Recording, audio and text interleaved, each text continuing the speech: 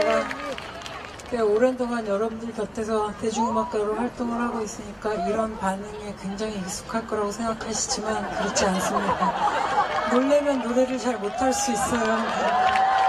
조금만 해주세요. 안녕하십니까.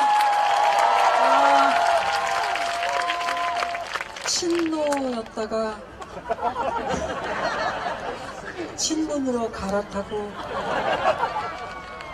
아, 문재인 정권의 어용 음악가로 활동 중인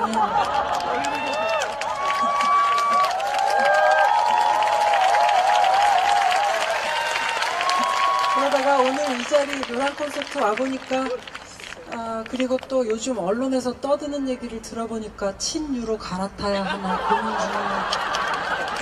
이은미입니다. 반갑습니다.